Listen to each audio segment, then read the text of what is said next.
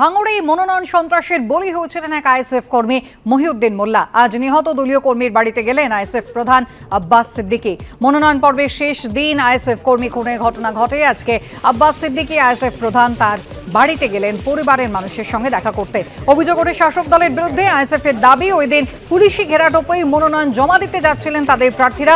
সোনপুর বাজারের কাছে তাদের মিছিলে তৃণমূলের দুষ্কৃতীরা গুলি চালায়। সেই সময় পুলিশ সরে যায়, এমনটাই অভিযোগ আইএসএফ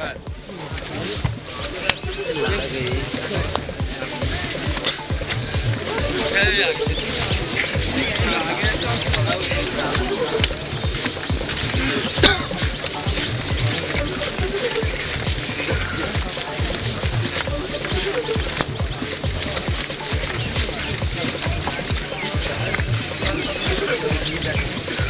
ভাঙুড়ের মানুষজন, যে সাধারণ মানুষজন বাস করেন সেখানে, তাদের দৈনন্দিন জীবনযাত্রা এই গত চার দিনে কি তৈরি হয়েছিল?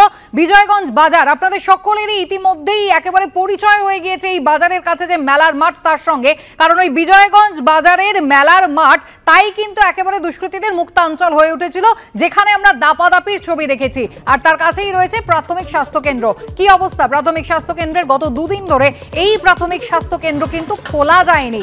দুষ্কৃতীদের তাণ্ডবের ভয়ে খোলা যায়নি আর আজ যখন খোলার চেষ্টা করা হচ্ছে, তালা খুলছে না সেখানে।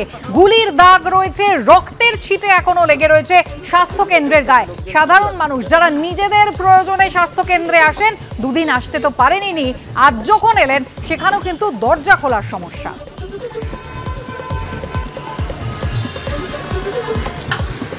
কি হচ্ছে?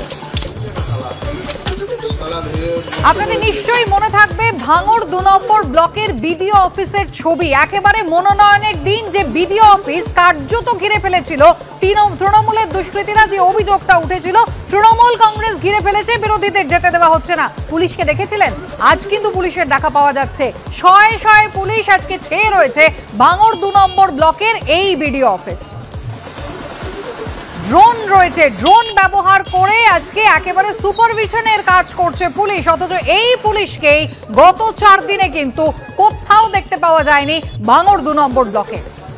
ঠিক এই অফিস, যে অফিসের বাইরে তারা খেতে হয়েছিল, সংবাদ মাধ্যমের প্রতিনিধিদের, যে অফিসের ভেতরে ঢুকে গিয়েছিলেন আরাবুল ইসলাম গাড়ি নিয়ে, যেখানে তিনি ঢোকার পরে দরজার দায়িত্ব নিয়ে নিয়েছিল তৃণমূল কংগ্রেসের প্রতিনিধিরা। স্বাস্থ্য কেন্দ্রের ছবিটা বরং আপনাদের আরেকবার দেখাই। আজ সকালে স্বাস্থ্য কেন্দ্রের ছবি। ঠিক বিজয়গঞ্জ বাজার, যার কাছে মেলার মাঠ, যেখানে আমরা দিনের পর দিন, গত চার দিন একেবারে তাণ্ডব দেখেছিলাম, সেই মেলার মাঠের কাছে এই প্রাথমিক স্বাস্থ্য কেন্দ্র দেখতে পাচ্ছেন, দুদিন স্বাস্থ্য কেন্দ্র তাণ্ডবের জন্য খোলা যায়নি, আর আজ যখন কর্মীরা এলেন, খুলতে তালা, সেই তালা কিন্তু আর খোলা যাচ্ছে না। স্বাস্থ্য কেন্দ্রের জানলা ভেঙে গিয়েছে, গুলির ছিট গুলির দাগ রয়েছে, পাশাপাশি রক্তের ছিটে রয়েছে। ছবি তুলে ধরেছেন পার্থপ্রতিম ঘোষ।